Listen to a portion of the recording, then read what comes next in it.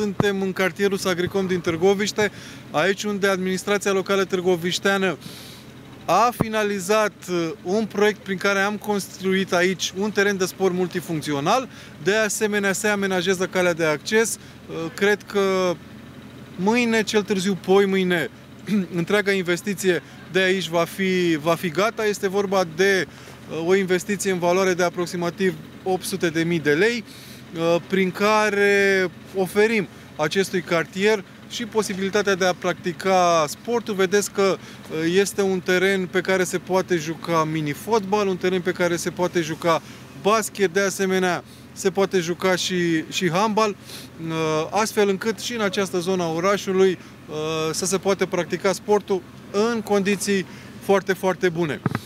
Pentru că suntem în cartierul Sagricom, aș mai menționa și faptul că încă avem la Compania Națională de Investiții mm, un proiect de construire a unei creșe chiar lângă această grădiniță.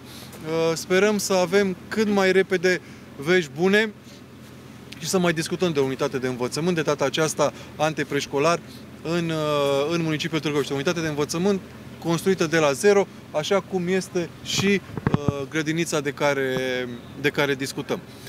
Uh, cred că este ultima conferință de presă din uh, actualul mandat. Uh, mâine va avea loc ședința de constituire a Consiliului Local și uh, odată cu depunerea jurământului uh, după constituirea Consiliului Local și primarul va depune jurământul și va intra practic într-un alt mandat. Asta a fost legea, legile au fost în iunie. Mandatul va, va începe în uh, octombrie. Uh, și vreau să le mulțumesc uh, târgoviștenilor în primul rând pentru încredere și pentru modul în care am interacționat pe, pe durata mandatului și vreau să-i asigur că în continuare voi face tot ceea ce depinde de mine uh, pentru a mă ridica la înălțimea așteptărilor oamenilor.